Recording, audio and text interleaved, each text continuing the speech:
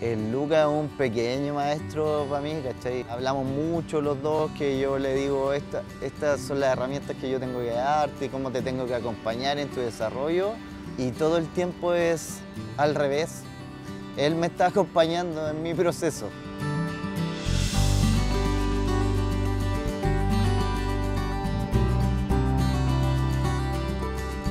Soy Héctor Arregá, tengo 41 años, soy ex paciente de Teletón y soy papá de Lucas. No sé por qué era un sueño ser papá. A lo mejor tiene que ver con que, con que yo, yo tengo un sentimiento súper profundo de, del, querer aportar al mundo con, desde mi vereda, ¿cachai? Y, y acompañar a otros en generar cambios positivos en ellos. Y, y qué mejor que, que, a lo mejor tener un ser papá, ¿cachai? Y, como trascender de esa manera. Yo creo que por ahí algo tiene que ver. Cuando me enteré que iba a ser papá fue, fue maravilloso. Yo, me, yo le dije a la Pitu que estaba embarazada. Le dije, ¿estás embarazada ya? Y me dijo, no, dije, sí estás embarazada porque me está pasando esto. Tengo estas sensaciones, ando mareado, le dije, y no me vaya a creer, pero tengo antojo. Me dijo, no, tú estás loco. Te lo juro que sí. Y estás embarazada, ¿cachai?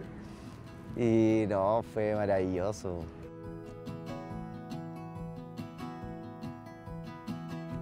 No puedo decirlo de otra manera, es un pequeño maestro y estamos los dos aportándole a la vida del otro en este camino y, por eso desde que nació siempre fue como una, una, una conexión súper grande entre los dos, somos bien partners, ¿cachai?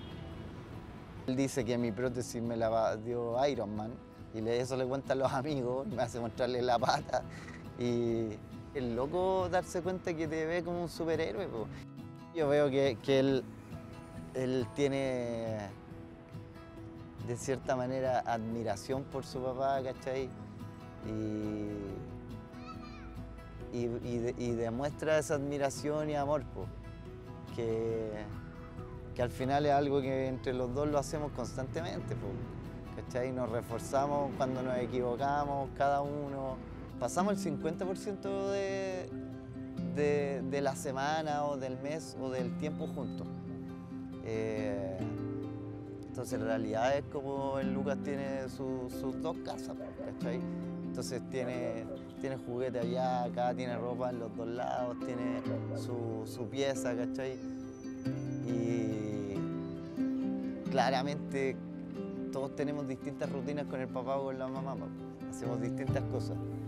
Y a nosotros nos gusta harto salir andar en bicicleta, juntos eh, y nos gusta eh, jugar, por ejemplo, juntos y hemos ganado partidas los dos jugando contra gente más adulta, pues con un niño de 8 años y, ganamos las partidas y es loco, yo lo grito como si fuera la final del mundo.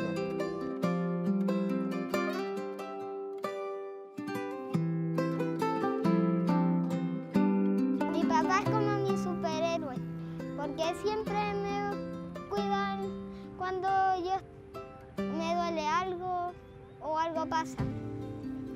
Para mí no es un experimento que mi papá no tenga una pierna, porque todos pueden tener una discapacidad, así que me gusta estar con él. Mi papá es el más bacán del mundo.